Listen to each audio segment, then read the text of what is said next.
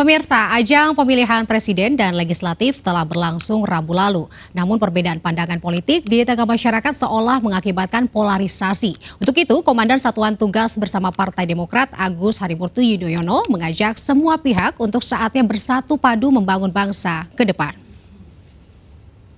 Ini yang saya sangat sedihkan, saya dalam waktu satu tahun setengah terakhir ini uh, terdiri dari berbagai identitas, suku, agama, ras, dan etnis termasuk golongan.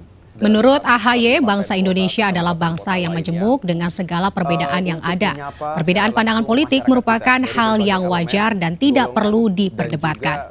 Elit dan masyarakat pun hendaknya menghormati proses penghitungan suara yang kini berlangsung di KPU dan mengawal agar tidak terjadi kecurangan atau surat suara yang hilang hingga penghitungan suara usai pada 22 Mei mendatang.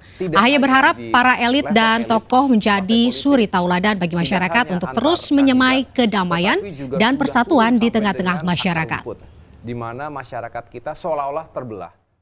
Kita harus kembali duduk bersama sebagai bangsa, jangan sampai kemudian seolah-olah 17 April ini bukan menjadi momentum untuk semakin baiknya Indonesia ke depan, tapi justru menjadi uh, sebuah insiden kebangsaan yang mengakibatkan kita semakin berjarak satu sama lain, kita tidak fokus pada upaya pembangunan bangsa ke depan. Saya ingin kita semua menjadi bagian utuh dari pembangunan uh, Indonesia lima tahun mendatang dan seterusnya baik itu pembangunan yang bersifat fisik dan juga pembangunan manusianya.